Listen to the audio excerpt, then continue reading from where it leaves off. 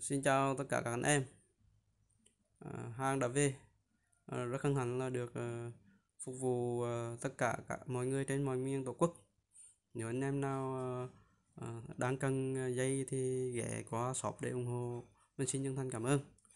Mình có à, hai loại dây đó là một ly và 0.8 ly.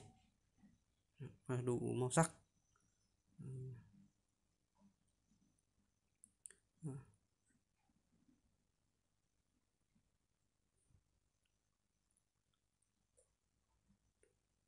Đây là rêu bằng cực nhựa không phải màu. À, một số như là hạt cưa mặc đồ nếu ai có nhu cầu thì cứ liên hệ mình. Mình xin à, chân thành cảm ơn.